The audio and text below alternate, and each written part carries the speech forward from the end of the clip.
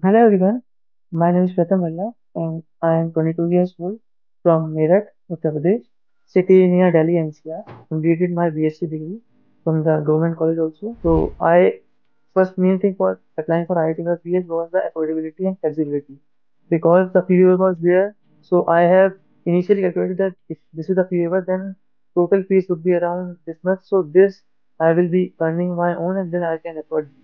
So I applied for those things and then applied for it and qualified the IITM BS and gave my fees for IITM BS program. So now I have two choices either to pay 2600 rupees for the advanced fees and in the newspaper in the coming days I in September like August or September I see about the IIT Madras PSC program. So I thought this is also from IIT and other is also from IIT so why not give it a try? So without just looking at what is data science, so I was not aware what is data science and all these things at that time.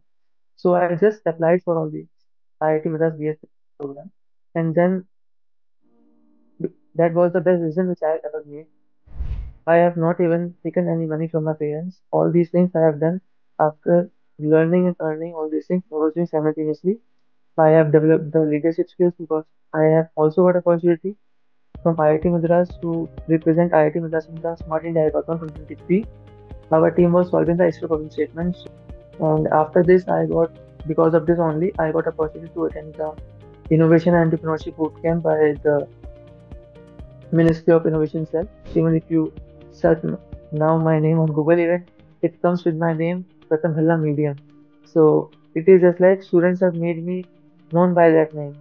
So all those things because of this learnings from IITM, then I have developed many skills in the if I say in the academics, I've learned development and machine learning, and the degree when I complete degree becomes to deep learning and all this professional management and all.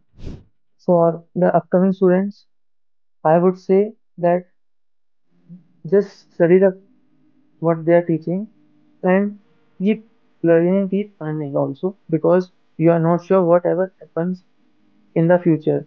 I am first looking for a Mm, job so that I can at least support my family first, and later on we'll mm, see if, if I study at IIT Ropar or do the MTech from IIT Madras or via GATE or MBA from some IIM.